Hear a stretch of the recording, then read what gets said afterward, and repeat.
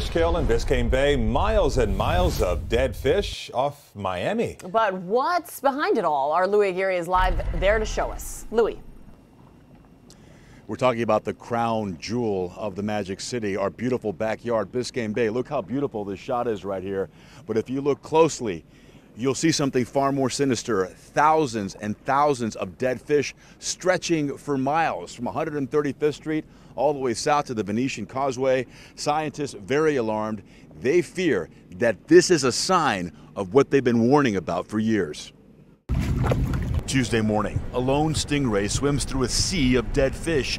Thousands in every shape, size, and species stretching for miles on Biscayne Bay, from as far north as Keystone Marina off 135th Street, all the way south to Edgewater near the Venetian Causeway. Look at all the fish on this board right now. It's covered with fish. Crazy. Pufferfish, seahorses, eels, stingrays. Catherine Mikesell was going for a swim in the bay near Morningside Monday morning when she first noticed the devastating sight. We just started like literally picking up fish and, and, and pushing fish away from us. And we're like, oh my goodness, that something is wrong. Environmentalists already fearing the worst. And this is it.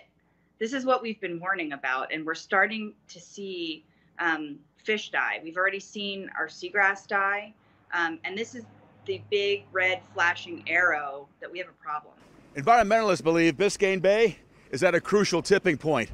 For decades, oversaturated with devastating nutrients coming from fertilizer runoff, sewage breaks, leaking septic tanks, untreated storm drain runoff, plastic pollution, all of this creating a perfect storm that is literally killing our bay. Environmental watchdog group Miami Waterkeeper on the case, taking samples that FWC will analyze to pinpoint what is causing this and where exactly on the bay the fish kill is happening. Why is this happening? Is there something that we can know by coming out here and looking at all these different parameters and sending the water samples? Maybe they can tell us. We are beyond the time to act.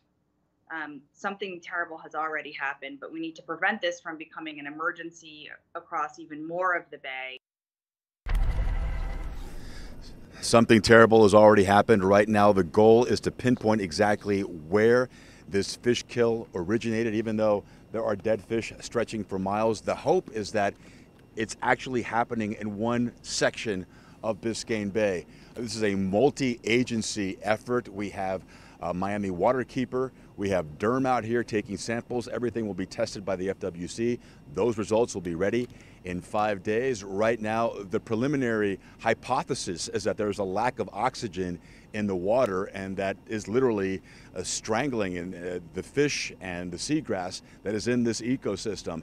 And that could be a sign of a toxic algae bloom, which of course would be devastating to Biscayne Bay. But again, Biscayne Bay at a crucial tipping point. If corrective action is not taken immediately, we will lose Biscayne Bay. Calvin and Nicole, back to you. Yeah, so there is still time to correct this issue, huh, Louis? We hope so. Yeah, uh, we need we need the political will to make the change happen. Our Louis Aguirre live for us. Louis, thanks a lot.